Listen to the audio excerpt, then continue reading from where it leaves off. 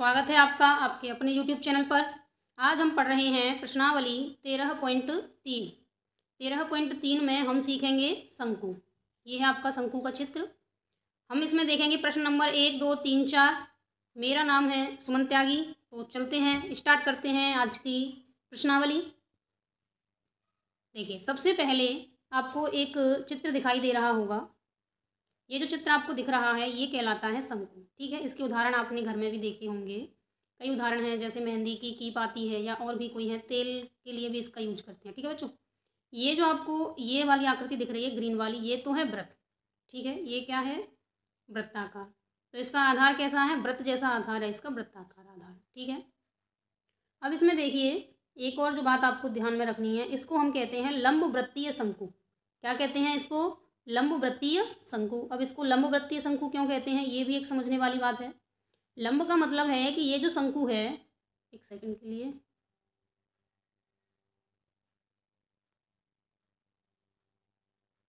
देखिए, ये जो शंकु है, इसमें, इनके बीच में, ये जो आधार है और ये जो ऊंचाई है, इसके बीच में कितने का कोण है? नाइन्टी डिग्री का, ठीक है? इसलिए तो ये है लंब। लंब मतलब नाइन्टी डिग्री का कोण।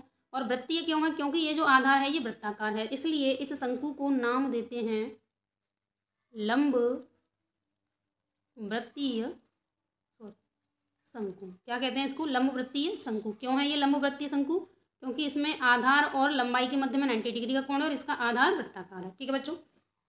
अभी हम प्रश्नावली तेरह पॉइंट तीन में हम पढ़ेंगे इसका वक्र पृष्ठ क्या पढ़ेंगे हम? शंकु के वक्र पृष्ठ का क्षेत्रफल। शंकु के वक्र पृष्ठ का क्षेत्रफल होता है पाई आर एल। ठीक है बच्चों? पाई आर यहाँ हम पाई की वैल्यू तो जानते हैं बाईस बट्टे सात। जनरली और अगर किसी प्रश्न में दे रखी है कि तीन पॉइंट एक चार लेनी तो तीन पॉइंट एक चार। आर क्या है? आर है इस आधार की त्रिज्या ये दिख रही है आपको। और एल क्या है? एल है ये जो तिरक ऊंचाई आपको दिख रही है। आ, ये जो तिरक ऊंचाई आपको दिख रही है यहाँ से लेकर के यहाँ तक। ये जो ऊंचाई दिख रही है ना ये सिर्फ़ ये जो ऊंचाई है, ये है एल ठीक है बच्चों? ये हो गई एल तो शंकु का वक्र पृष्ठ हो गया पाई आर एल वक्र पृष्ठ का मतलब है ये जो टोपी वाला हिस्सा है वो, ठीक है बच्चों? टोपी वाला हिस्सा, केवल टोपी वाला हिस्सा। अभी हमें देखना है शंकु का संपूर्ण पृष्ठीय क्षेत्रफल शंकु का संपूर्ण पृष्ठीय क्षेत्रफल संपूर्ण प्रश्न में क्या होगा कि ये वक्र पृष्ठ तो इसमें है ही, साथ में ये नीचे जो आपको ग्रीन रंग में दिख रहा है, वृत्त, ये भी आपको काउंट करना पड़ेगा। तो पाई आर एल और वृत्त का क्षेत्रफल क्या होता है? Pi R square. अब इसमें से हम कुछ कॉमन ले सकते हैं। कॉमन हमने ले लिया पाई आर, यहाँ बचा एल और यहाँ बची एक आर। ठीक है बच्चों? ये बचा ये। तो शंकु का संपूर्ण पृष्ठ क्षेत्रफल होता है pi R L plus R. ठीक है बच्चों? तो हमने देख लिया है शंकु का वक्र पृष्ठ और शंकु का संपूर्ण पृष्ठीय क्षेत्रफल। अब देख लेते हैं प्रश्न नंबर एक। प्रश्न नंबर एक है, एक शंकु के आधार का व्यास दस दशमलव पाँच सेंटीमीटर है, इसकी तिरक ऊंचाई तिरक ऊंचाई का मतलब होता है एल दस सेंटीमीटर है, इसका वक्र पृष्ठीय क्षेत्रफल ज्ञात करना है, केवल वक्र प्रश्न निकालना है, व्यास आपको दिया हुआ है तो आपको चाहिए होगी त्रिज्या, शंकु की त्रिज्या, ठीक है बच्चों, क्या होगी व्यास की आधी होती है तो ये हमने रख दी व्यास की आधी एल बराबर कितनी है? तिरक ऊंचाई है दस सेंटीमीटर वक्र पृष्ठ का क्षेत्रफल? वक्र पृष्ठीय क्षेत्रफल. क्या हो जाएगा? पाई आर एल. पाई की वैल्यू है बाईस बट्टे सात. आर की वैल्यू है दस दशमलव पाँच बट्टे दो और एल की वैल्यू है दस. ठीक है बच्चों? सात से इसको अगर हम दो से तो इसको काट दें ग्यारह बार और सात से इसको काट दें सात और बच्चे तीन, पैंतीस, पंद्रह. तो ये आ गया एक दशमलव पाँच. ठीक है? हमारे पास आ गया है ग्यारह गुणा एक दशमलव पाँच गुणा दस। पंद्रह का गुणा कर देंगे ग्यारह से। पंद्रह और ये हो गया एक सौ पैंसठ। एक सौ पैंसठ दशमलव ज़ीरो। ठीक है? तो ज़ीरो का कोई मतलब नहीं है। तो हमारा आंसर हो जाएगा एक सौ पैंसठ सेंटीमीटर स्क्वायर। ठीक है बच्चों? शंकु का वक्र प्रश्न आ गया हमारा एक सौ पैंसठ वर्ग सेंटीमीटर। नेक्स्ट प्रश्न देख लेते हैं। प्रश्न नंबर दो। एक शंकु का कुल पृष्ठीय क्षेत्रफल ज्ञात कीजिए जिसकी तिरक ऊंचाई दी हुई है एल इक्कीस मीटर और आधार का व्यास दिया हुआ है चौबीस मीटर। ठीक है बच्चों, अब देखिए आपको क्या क्या दिया हुआ है। हमें दिया हुआ है आर आर है चौबीस बट्टे दो मतलब हो गया बारह सेंटीमीटर। ठीक, हमें दी हुई है एल और एल है हमारे पास इक्कीस सेंटीमीटर। अब हम संपूर्ण पृष्ठ का क्षेत्रफल देख लेते हैं। संपूर्ण पृष्ठीय क्षेत्रफल। क्या होता है? Pi R R plus L यही होता है ना? Pi R R plus L यही हमारे पास फॉर्मूला होता है। इस फॉर्मूले में हम रख देते हैं वैल्यू ठीक है बच्चों? सबसे पहले तो इसके दो भाग कर लें। फॉर्मूले में वैल्यू रख देते हैं। पाई की वैल्यू है बाईस बट्टे सात आर की वैल्यू है बारह आर की वैल्यू है बारह और एल की वैल्यू है इक्कीस, ठीक है? यहाँ आगे बढ़ते हैं। बाईस बट्टे सात गुणा बारह बारह और इक्कीस को जोड़ देंगे तो कितना आ जाएगा? तैतीस। इनका कर सकते हैं मल्टीप्लाई तो आपका आ जाएगा बट्टे सात। अब दे दें इनका भाग। सात एकम सात बचे एक, सात दूनी चौदह बचे तीन, सात चौके अट्ठाईस बचे तीन, सात चौके अट्ठाईस। और ये आ गया आपका पाँच, सात सेंटीमीटर ठीक है? तो जो शंकु है, उसका संपूर्ण पृष्ठीय क्षेत्रफल आ गया है बारह सौ चवालीस दशमलव पाँच सात मीटर स्क्वायर। सॉरी, इसमें आएगा मीटर स्क्वायर में। ये आएगा मीटर स्क्वायर में बच्चों, क्योंकि ऊपर जो संख्या दे रखी थी वो थी मीटर में तो ये आ गया मीटर स्क्वायर। ठीक है? नेक्स्ट क्वेश्चन देख लेते हैं। प्रश्न नंबर तीन। एक शंकु का वक्र पृष्ठीय क्षेत्रफल 308 सेंटीमीटर स्क्वायर है। इसकी तिर्यक ऊंचाई है चौदह सेंटीमीटर तो हमको ज्ञात करना है नंबर एक आधार की त्रिज्या, नंबर दो शंकु का कुल पृष्ठीय क्षेत्रफल। ठीक है, हमको क्या दिया हुआ है, हमें ये देख लेते हैं। हमारे पास है वक्र पृष्ठीय क्षेत्रफल। ठीक है बच्चों, कितना है? तीन सौ आठ सेंटीमीटर स्क्वायर हमारे पास है एल एल कितनी है? चौदह सेंटीमीटर। ठीक, हम क्या करते हैं? वक्र पृष्ठ का फॉर्मूला लिख देते हैं। पाई आर एल बराबर तीन सौ आठ। ठीक है जो भी मान है, उन मान को हम रख देते हैं। पाई की वैल्यू है बाईस बट्टे सात, आर हमको पता नहीं है, एल बराबर होता है चौदह। सात से इसको हम दो बार काट सकते हैं तो आर गुणा बाईस दूनी चवालीस, या बाईस गुणा दो बराबर है तीन सौ आठ, ठीक है? आर निकालना है तो सभी का पक्षांतरण कर देंगे, बाईस गुणा दो, ठीक है बच्चों?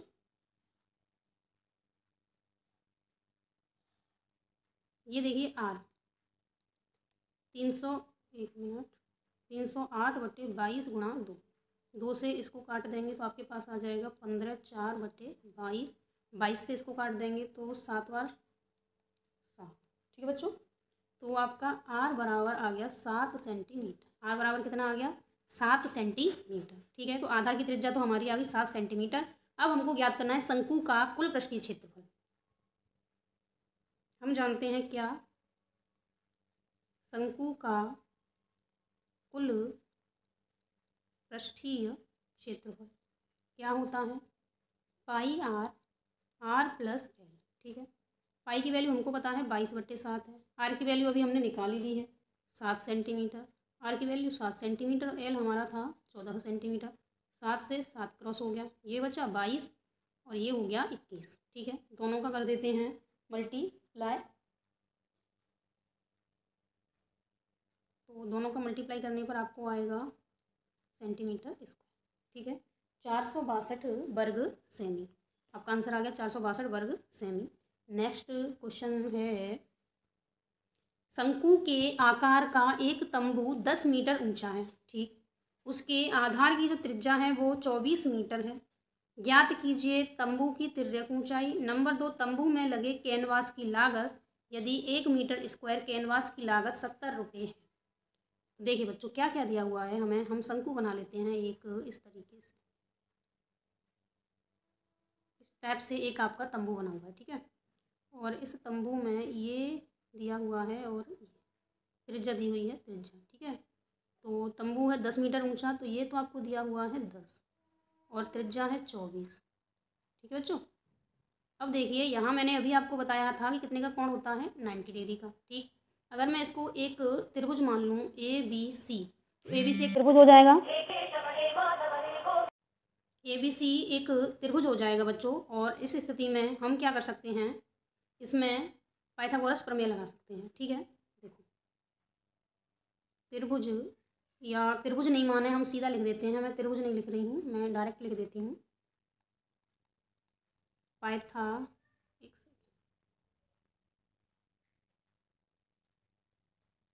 पाइथागोरस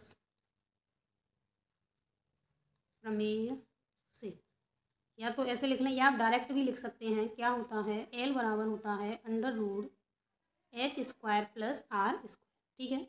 तो एल हम निकाल लेंगे, हमारे पास आधार की त्रिज्या दी हुई है तो हम एल निकाल लेंगे एच स्क्वायर कितना है, दस का स्क्वायर और आर स्क्वायर हो गया चौबीस का स्क्वायर ठीक है?